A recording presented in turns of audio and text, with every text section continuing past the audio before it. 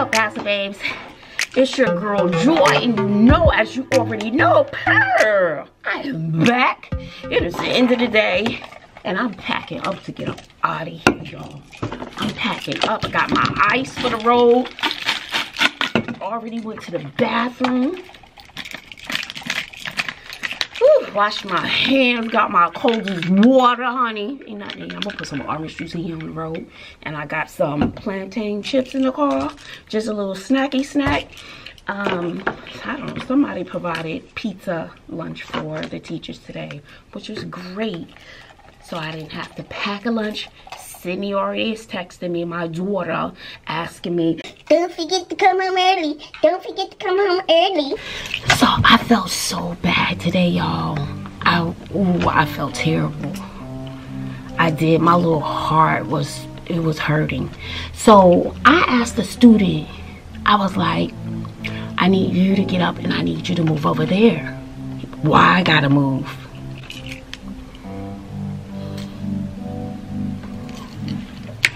Don't know if my head did a 360. I don't know. I said, because I told you to move your seat over there. And that's what you're gonna do. Or you can get out. So it's like if you don't want to follow the rules, I just and no student has done that this year. If I ask them to move, they just get their stuff and, and, and move. I mean, but I just and I could tell he was upset. I was upset and I felt bad. Hello, yes. Your vacuum cleaner Oh, yay! for PBIS raffle. And so I got a vacuum cleaner for my class because the cleaning lady, if there's a piece of paper or a piece of dust, the cleaning lady will be ready to have a meeting with me and she'll take pictures and everything, child. So, because one of my students won, uh, she won a, a, raffle and she was principal of a day principal of the day. So she you know walked around with the principal all day. She dressed up very nicely. And um because and then they asked her who was her favorite teacher so of course all right and so it was me. She was also able to donate $50, you know, from administration to the teacher to buy something, anything they wanted for the classroom. And I said, uh, you know, a little vacuum cleaner, sometimes somebody's sharpening a pencil, you need to, you know, vacuum up just a little area something like that. So I thought this would be perfect for my class. So I found a little handheld vacuum cleaner and at the end of the day, I could have my last period class, you know, just go over the floor, go over its trouble spot areas, and um, vacuum that up. At the end of the day, it's a nice little handy thing to have for the classroom. Isn't that cute? And so this is what I got with my $50. So I just sent the, um, the principal secretary a picture. I said, this this will do. and, you know, I, I stayed within the, the budget and stuff like that. So this is a nice surprise. Very nice. So I'm glad that came. I'll I'll look at it on Monday and tr try to figure out how it works. My little handy student is no longer with me. So anyway, so I felt really, really bad. Oh, child, I gotta go. So I felt really, really bad, and my heart was just unsettled. And I was like, Joy, that's unlike you, and I haven't really built a rapport or relationship with this particular student. Because another student, I was like, boy, if you don't get your butt over there, but he's fairly new. So we don't have that bond just yet. And so it just didn't feel right to me and so like another student but you know i don't i don't have that bond with this one yet. I don't know him. And so um, i pulled a small group work with a small group. I said now can you send this next student in? So i just had him send in and you could tell he he was he was a little with his feelings. And i apologized. I said i'm sorry for talking to you like that. Mainly because i don't have a relationship with him. And I said, I'm sorry for talking to you like that. I said, but my biggest pet peeve is when I ask you to do something, just go ahead and do it. And then you want to talk back, say, why I got to do that. And it, I don't really care how he came towards me. I cared about how I felt and came across to the kid. And I was like, it's really not my personality. You've seen me in the class. And I just wanted to apologize. And I said, that is a pet peeve of mine. And I said, the other reason you have to understand, I wanted to pull you away from the group. I said, because I know what the other kids do and how they keep talking in the group. So I pulled you to save you. I wanted to give you individualized attention. But you couldn't do that because the other ones kept talking. So it was like I sent you a boat to help you. So I wasn't pointing you out to be on you, you know, to be nitpicky. I said, no, it's because I wanted you to finish your diagnostic. I wanted to see where you are. I wanted to be able to grow you and I wanted to help you grow. I wanted to take you here, there. I was like, you know, have you ever passed the state standardized test, blah, blah, blah. I said, I want to work with you because I see potential in you. That's why I moved you. It wasn't because I was, you know, trying to hate on you or whatever. And I said, let me tell you something sometimes you're around some people, they're not there to grow you. They're to pull you down or keep them at their level. Uh, you with your boys and be like, yo, let's run that, whatever. Let's run the street. Yo, bro, this, that, that. That's what they're going to do. They're not going to say, hey, let's read this paragraph and analyze this. And let's do that. I said, your friend's not going to do that. And I said, if I see you trying, you putting in an effort, I said, you will always pass my class. You got to be working, you got to be trying, and we got to be working together towards a goal. And I said, that's what I want for you. And I said, um, and he was like, you know, thank you, ma'am. Yes, ma'am, I, I appreciate that. So it was like, I was glad I had to talk with him, but, and I got a little teary eyed and crying, crying. cry. Be a man, George, be a man. But my heart hurt because I knew I hurt his feelings and I didn't feel right as a person talking to him. I was just like, because I told you to move or you can get out. And it is.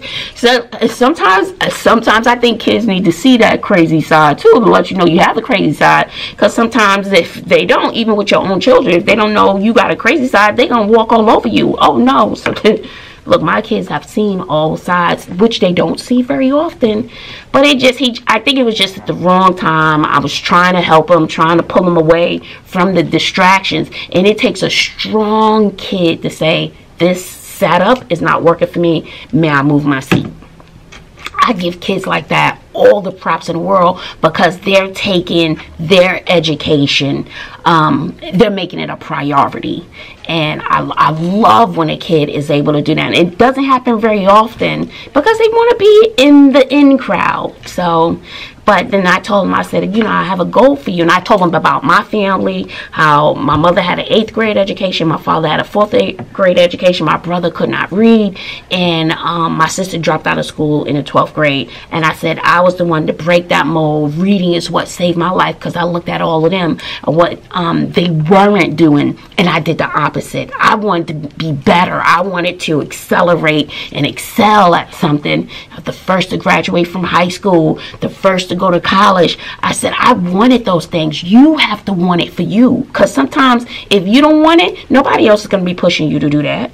I told him about my story and about the drugs, you know, to make that connection, to show that I'm passionate about um, reading. I said, you're going to need reading and you're going to need language arts for the rest of your life. How to read an application, how to sign your name, what this contract means, so on and so forth. I said, out of all the subjects, you're going to need language arts.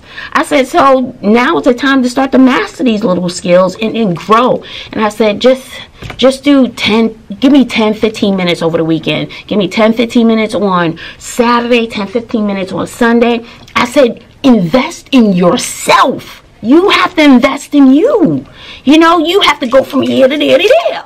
That's what I want you to do. I said, can you give me that? I said, I could look to see which kids are working on this little learning platform because they give them a diagnostic and it gives them the skills to work on where they're low to bring them up. So I love it because it pinpoints exactly what the kids should be working on to grow in a specific skill set. So, and we just got it in um, seventh grade. So I'm so excited. And that's what we did today and um, it's, it's, it's really a good program. I like it a lot. And then it'll group kids based on their skill level. I need to email the parents when I get out of here to say these are the skills. There, um, Miss Anderson picked out about seven skills that they're going to need for their state standardized test on Tuesday. So drill and kill, drill and kill, drill and kill. I really like the program. I wish we had it at the beginning of the year. Um, I was told that we will have it next year, so will be implemented in um, in my lesson plans, and I can choose skills that the whole class can work on as well. And I don't have to look for the lessons; they're already built into the program. So phenomenal, you know, because we have some kids who are um, kindergarten level, not kindergarten level altogether, but a certain skill that they missed. We have some on second grade, pre-K, so the skill levels like that. So when you're teaching a whole class how you individualize instruction, you got to go all the way back to first grade, pre-K. Who, who has time for that? Uh, Billy, you're gonna spend the first 20 minutes on your um on your goals, on your IXL goals. Yes, uh huh. That's what you're doing. And this group over here is going to be working on the eighth and ninth grade level goals that they have over here. Okay, so you um go back to letter sounds and um you know maybe definition, uh, context clues. So that's what you're going to be doing, and um everyone has their little goals. Because everybody's at different levels. So I like it. All right, Billy, waiting on you. So I felt bad, so I had to eat my little words because it, it bothered my spirit, and I needed to apologize for me. And of course, I I don't like this. I didn't like the look on his face. So hopefully, I'll continue to build a relationship with him, and you know, it'll be okay. Like one one kid, get your stuff, get out making noise, distracting the class. So I was saying, and it was like eight minutes like get out. And then when I said sit in the hallway until it's time to go, and um, I heard him walking down the hall. I got kicked out of class today. He thought that was the coolest thing ever. If you don't, boy, if you don't, but he he's a smart kid too. So with that said guys i hope you're well and just think about the words that you use for people the tone that you use um, because it creates a certain feeling and mood in a person who is the recipient of your tone and a tone is the the person speaking the person writing um, their word choice so I didn't really like the tone, especially because I know I don't have a, a good relationship with him. Like other kids I do. I might even put him in a headlock. But I built those relationships. I've been with them all year. So I'll work, work on getting closer to him and building a relationship with him and showing him that I care and I want to invest in him. And I plan to write a little card and have it delivered to his class. But I never got around to that because it was a busy day because I was pulling groups. That's all, folks. I hope you have a wonderful, wonderful day, evening, morning, and just be mindful of the word choices that you use because you don't know how they can affect people. And sometimes when you think back and reflect on what you've said or what someone else has said, it means everything. It makes a big difference. Just to take the time to think and it go to that person, yo, when you said that, it, you know, make me feel this way. Or when I said those, it didn't make me feel comfortable how what I said to you. So sometimes it's about swallowing your pride too. And that's something I've been learning how to do. Okay, I've been learning how to do that, but so I need to email parents to tell them that they can't spend all this time on a TikTok. They can spend 10, 15, 20, 30 minutes on IXL to keep working on those skills. Why not? Why, why you, uh, dear, 15 minutes. You can give me 15 minutes. It takes 15 minutes to sign up for new car insurance. Why don't you take 15 minutes to work on your letter sounds? How about that? you know, 15 minutes, 15 minutes out of your life on the weekend, but then you're always going to have that period. No, this is their time to relax. Trust me, they didn't do much while they were in school. They had plenty of relaxed time. I'm going to go now, and that's it. I like my little bonbons. They hurt. I'm ready to get, get home. It's like, what am I eat? I haven't cooked in a minute. I made some pork chops and we just ate that with some bread. I guess I'll make me a sandwich when I get home. I don't feel like cooking. I don't. And I don't feel like fast food. I don't know. Make me another sandwich. Period. All right, y'all. I hope you have a good day. Had a good day. Look, I'm trying to put my phone in my camera case. It's late. Let me go before Sydney kills me. I got my little chips for the road. Got my, this, got a little orange juice. So, Bay Daddy stocked my fridge um, with orange juice. and other treats. So maybe I'll go home and have me a treat and watch a movie. Just take a break on a Friday. But it's like sometimes you do that, you want something good to eat. Something that's gonna hold you cozy, good cooking and eating. I gotta put in great. Oh, I got so much to do. Oh, I got stuff to do, y'all. All right, y'all. Love you, love you, love you, poo poo. I love you, poo poo. I do. I love y'all. Thank you for being my friend. Bye, y'all.